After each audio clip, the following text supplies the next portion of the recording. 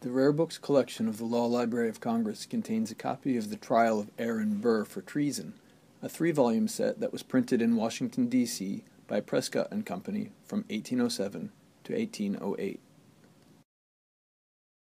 Aaron Burr was a prominent New York politician and the Vice President of the United States during the first term of the Jefferson administration. Today, Burr is best known for killing his political rival Alexander Hamilton in a duel in 1804 in Weehawken, New Jersey, over a dispute about comments Hamilton made that disparaged Burr's character.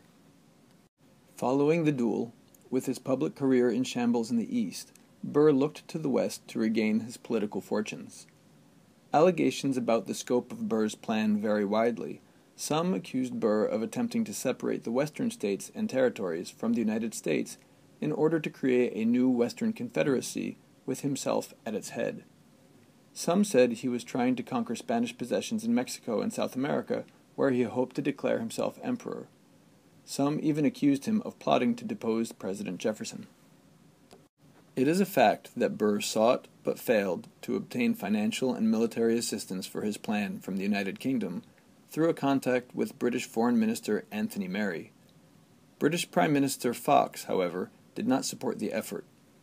Whatever his precise objectives were, Burr also embarked on a tour of the West in 1805, meeting with prominent men and potential recruits. He began, but was unable to complete, a second tour of the West in 1806. During his first expedition, Burr met Harman Blennerhassett, a wealthy attorney who lived in a mansion on an island in the Ohio River, in what is today Parkersburg, West Virginia. Blennerhassett appears to have been the linchpin in Burr's plan, providing Burr with funding and an island on which to drill troops and amass supplies.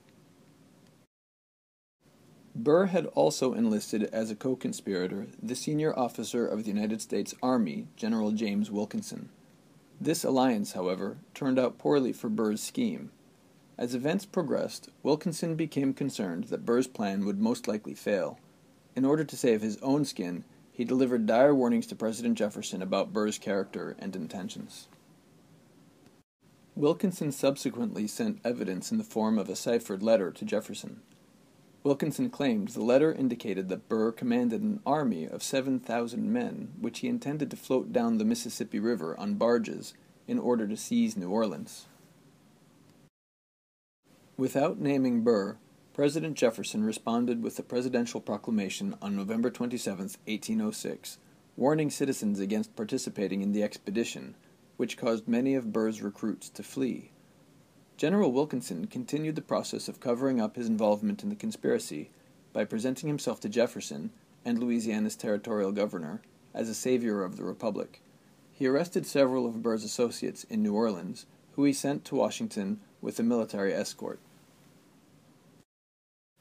In response to a petition for a writ of habeas corpus by these men, Chief Justice Marshall inquired into the legality of the men's detention in an opinion titled Ex parte Bollman and Swartwout. In the opinion, Marshall recognized that a person could be guilty of treason as part of a general conspiracy, even if they did not directly take up arms against the United States, if they performed a part, even a remote part, and war was actually levied against the United States by other participants in the conspiracy. This is sometimes referred to as constructive treason. The Jefferson administration understood that the Constitution would require the prosecution to prove that Burr had committed an overt act to levy war against the United States in order to obtain a conviction. It pinned its hopes on the description of an altercation one of Blennerhassett's laborers claimed took place at Blennerhassett's Island on December 10, 1806. The laborer claimed Blennerhassett's troops drew their muskets in a confrontation with the state militia. Burr was not present on the island at the time, so the United States would have to draw upon the ex parte Bollman and Swartwout opinion pointing to this altercation as an overt act of war in which Burr, even though not present at the time on the island, played a part in the furtherance of the general conspiracy. Burr was arrested by United States Army Captain Edmund P. Gaines, commander of Fort Stoddert, near the town of McIntosh in what is now Alabama. He was then taken to Richmond for a hearing before the United States Circuit Court for Virginia. The court included Chief Justice Marshall, who was there riding circuit as part of his duties as a justice of the Supreme Court. Marshall expressed doubt that the actions that the allegations against Burr described amounted to levying war against the United States.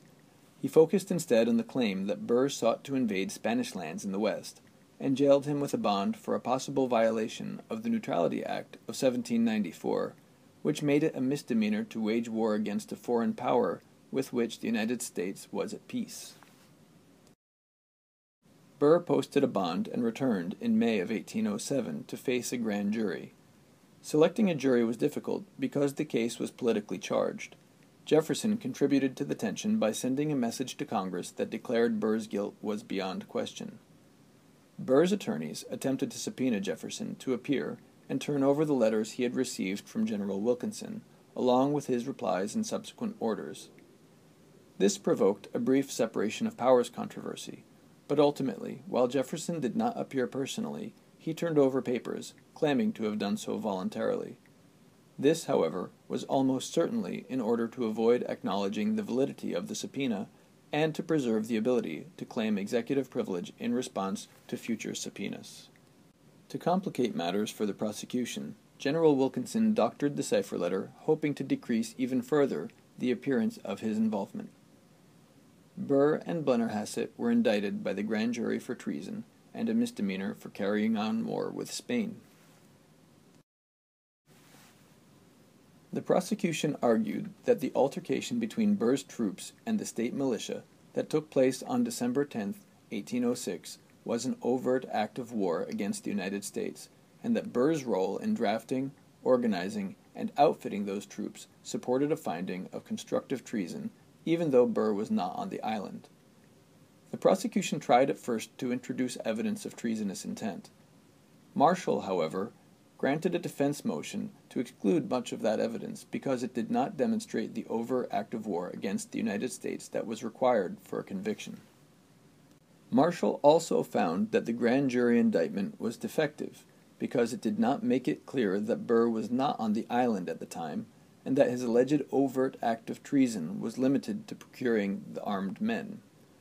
Marshall also noted that the prosecution could not offer the testimony of two witnesses that were required to prove an overt act of war. The testimony of the only witness they presented was also problematic. While the prosecution presented a laborer who claimed to have seen an altercation between Blennerhassett's men and the militia, prosecution was unable to call the general in charge of the militia. In fact, the general had given an earlier deposition that contradicted the laborer's claims. The court found Burr not guilty by the evidence presented, a qualification which irritated Burr.